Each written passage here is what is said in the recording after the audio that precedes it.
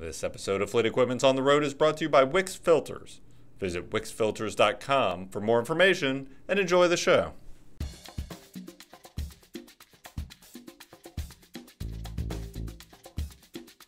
Brakes are the backbone of truck safety system. Drum brakes are the traditional solution, but what if I told you there was another option that offered improved stopping distances and reduced maintenance, but was held back by every fleet manager's least favorite four letter word? To crack the air disc brake market wide open, SAF Holland unveiled its new P89 lineup consisting of two offerings, a base model and a premium model. We're heading to Grand Rapids, Michigan to get the full story on this episode of Fleet Equipment's On the Road.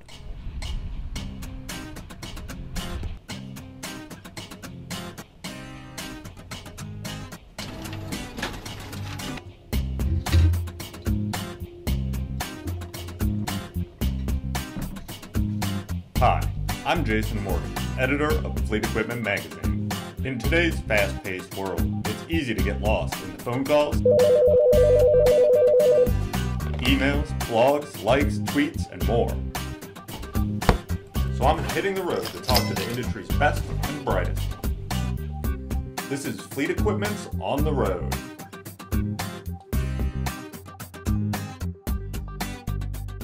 SAF Holland's P89 air disc brake is designed as an entry-level brake for high-volume fleet orders.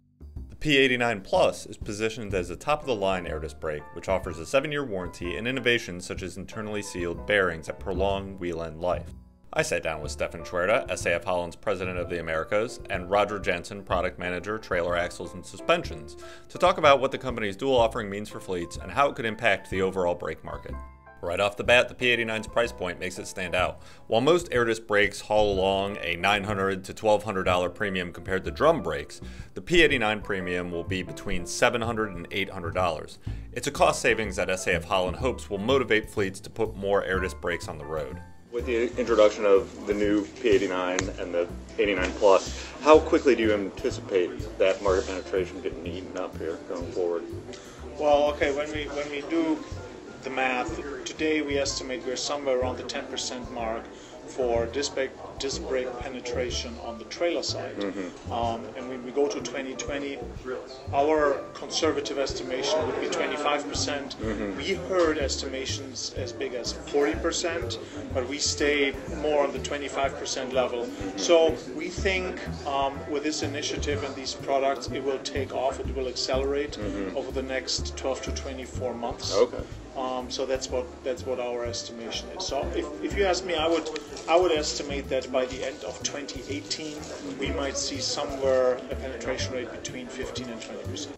The P89 Plus eliminates traditional wheel seals thanks to precision bearing spacers that are installed between the inner and outer bearings to control bearing preload. It's a brake that SAF Holland expects to see more fleets moving toward as they become more comfortable with the air disc brake's total cost of ownership.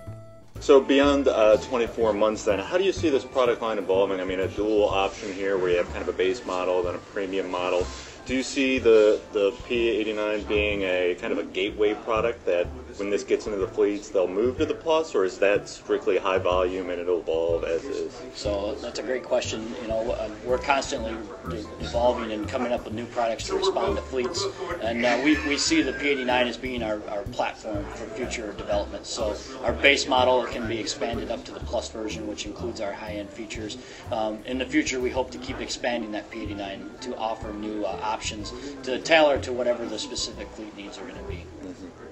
Well, the P89 as an entry level, when, when you talk to the fleets, there is a certain threshold in, ter- in, terms of premium. The interest in disc brakes is there for, for a lot of years already. Mm-hmm. So we have discussions um, with, with major fleets for a few years, but always the premium on the OE side, um, there was the obstacle mm-hmm. to get a higher penetration of disc brakes. And we trying to entice the fleets with the P89 on this entry level to, to have a closer look at the disc brakes and the premium um, which is in place now. Sure. Um, the P89 Plus is clearly some for, for, for people who uh, go to the seven-year warranty, um, want to reduce maintenance as much as possible, and, and see the payback. For outtakes from my interview with SAF Holland and even more episodes of Fleet Equipment's on the Road, head over to feontheroad.com.